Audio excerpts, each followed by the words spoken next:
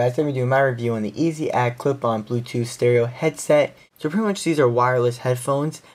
So this acts as a receiver from your iPhone or whatever phone you're using. And what that does is you're just going to plug in your head. So they do include headphones and sound quality is actually impressive. Look what comes in the box. You get a manual. And you also get a charger to charge up the Bluetooth receiver itself. So taking a look at the receiver itself, right here is the power button to power it on.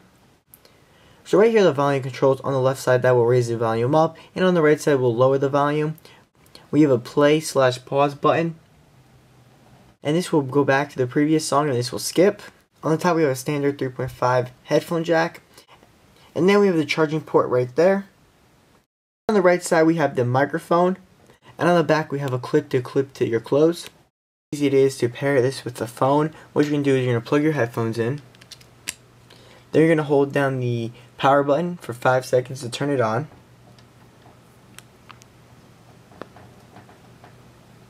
Power on. Then you're going to Bluetooth on your phone. Look for EasyAcc B310 and you're going to connect to it. I have some sample music Kevin Clouds Blowing Away.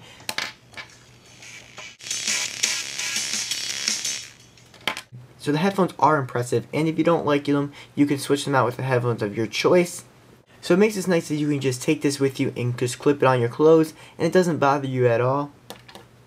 So you're going to be able to get about 5 hours of music time, then you have to charge it up. It takes about 2 hours to charge it. So another things you can make this interesting, you can have two things paired to this at once.